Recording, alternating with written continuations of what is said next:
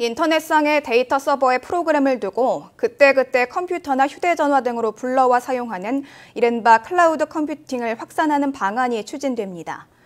미래창조과학부와 행정자치부, 정부 3.0 추진위원회는 국무회의에서 K-ICT 클라우드 컴퓨팅 활성화 계획을 확정하고 재작년 3%대였던 국내 민간 기업의 클라우드 이용률을 2018년까지 30% 이상으로 올리기로 했습니다. 이를 위해 클라우드 이용을 저해하는 규제를 올해 말까지 집중 발굴해 내년부터 차례로 개선해 나갈 예정입니다. 이에 따라 전자 의무 기록은 병원 내에서만 저장 관리해야 한다는 법규를 고쳐 이 정보를, 이 정보를 외부 클라우드 업체에 맡길 수 있게 하는 방안 등이 추진됩니다.